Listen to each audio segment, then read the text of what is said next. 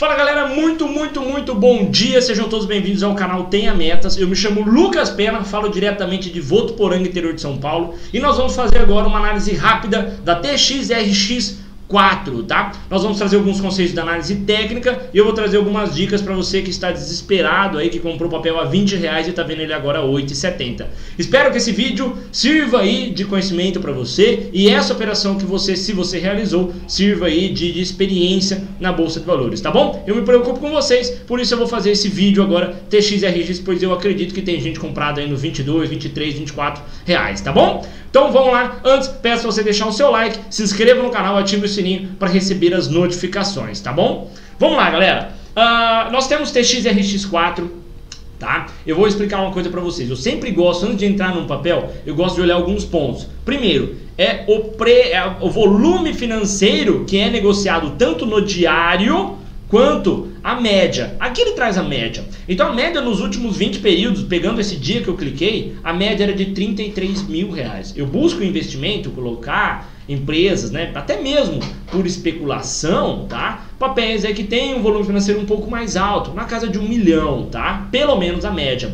Outro ponto que você tem que tomar cuidado é com a liquidez do papel. Aqui você pode até me falar que TXRX ela tem liquidez alta, tá? Mas olha a TXRX3, a liquidez dela, na verdade, olha lá, é muito baixa, tá? Mesmo o TXRX4, a liquidez, na minha opinião, ainda é baixa, pois tem agora inverteu essa coluna, né? Antes poderia ter muita gente querendo comprar, por isso que joga o preço lá para cima para casa de 22 reais, e agora tem muita gente querendo vender e pouca gente querendo comprar, por isso que o mercado derrete como está derretendo, tá? Meu ponto de vista, se você está dentro do papel, saia agora quando o preço voltar do leilão, pois a expectativa é que possa cair mais, ou até, mesmo, até mesmo a média móvel de 8 períodos. E outro ponto, quando você quiser especular, é bacana especular, Lucas? O mercado está dando várias oportunidades? Tudo bem, concordo com você. É bacana especular, é bacana comprar aí uma ação, né? E ter essa oportunidade de subir, vai, a 30, 40, 60% em um dia, como vem acontecendo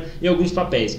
Toma cuidado só, que é aquilo que eu falo. Se você vai tá buscando essa, esse tipo de especulação, busca fazer igual quando você faz comprando um bilhete da Mega Sena, tá? Um bilhete ali da, sei lá, Lotomania, sei lá, tá? Da Quina, que é o que? Você vai pegar 4,50, que deve ser o preço de hoje, tá? Do bilhete. Você vai lá, como que funciona? Você vai pegou esse capital baixinho, comprou um bilhete. Se der certo, você vai ganhar muito, concorda? Porque de 4,50, se eu ganhar mil reais, Olha isso aí, eu, investi 4,50 e estou com mil reais agora. É muito, né? É muito, muita valorização. Ótimo. Só que, se, eu, se não der nada nesse bilhete, o que, que eu perdi? Eu perdi muito pouco, que não vai fazer diferença no meu caixa. Eu perdi muito pouco, que não vai me deixar né, ansioso, nervoso, triste, com depressão, tá? Ao invés de você pegar todo o seu capital e colocar numa empresa né, onde não tem fundamentos, onde a maioria dessas empresas que estão girando é na casa de, de, baixo, né, de um capital muito baixo, né, na casa de um, dois, três ou até mesmo centavos,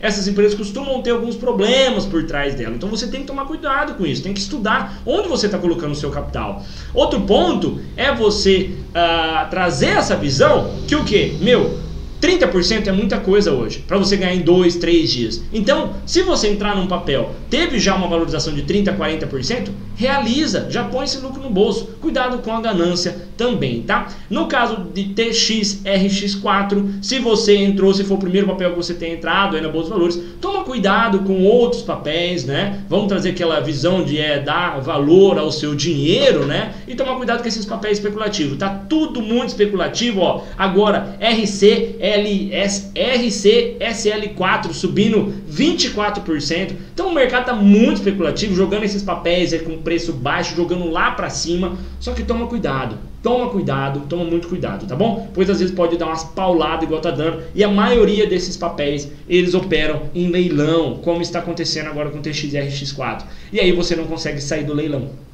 Por quê? Porque o leilão, se eu enviar uma ordem agora, minha ordem vai ser aceita não executada. E aí você tem o teu o teu papel preso, a sua ordem presa e você não consegue sair. Agora imagina quem comprou lá em cima no 22 e não saiu até agora.